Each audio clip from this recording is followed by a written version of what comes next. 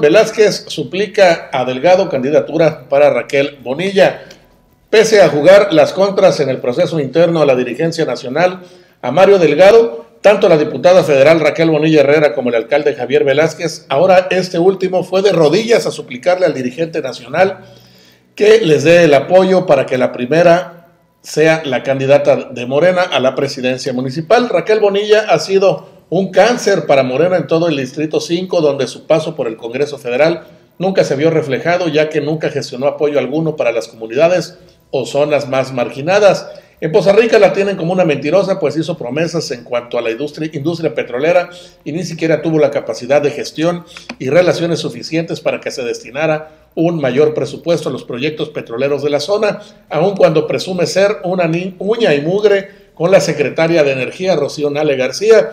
Ahora que las encuestas no le favorecen, pidió a su títere Javier Velázquez Vallejo fuera fuera a la Ciudad de México para entrevistarse con Mario Delgado y suplicarle casi de rodillas que apoye la candidatura de Raquel Bonilla. ¿Se la dan o no se la dan? Pues ahí se va a ver porque le estuvieron haciendo chamba en contra de Delgado, ¿no? Aquí, por lo menos, Poza Rica iba en contra de Mario Delgado. Vamos a ver si los favorecen. Si les cumple sus caprichitos.